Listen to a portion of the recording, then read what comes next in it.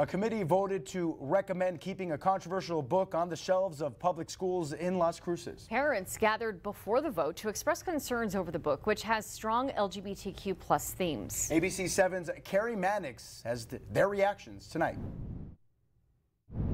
Just behind these doors holds the book Jack of Hearts and Other Parts. While it's not yet determined if the book will stay or go, the vote today had some mixed reactions. An LCPS committee voted six to one in favor of keeping the book in district schools. I'm pretty surprised that you just had four Las Cruces public schools teachers potentially who voted to keep a book that is advocating for pedophilia. But other parents say the book is sex positive and important to LGBTQ plus youth. LGBTQ plus kids are more at risk of dying by depression than any other group in the country and in New Mexico.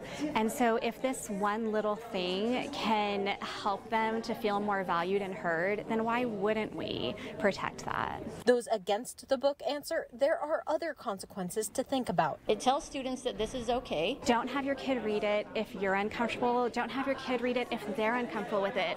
Just don't tell me what my student and what my kid can read. And the vote today was just for a recommendation by the committee to the superintendent, who will ultimately decide the fate of the book within Las Cruces Public Schools. That decision is expected by November 9th. You can count on ABC7 to keep you updated both on air and online at kvia.com.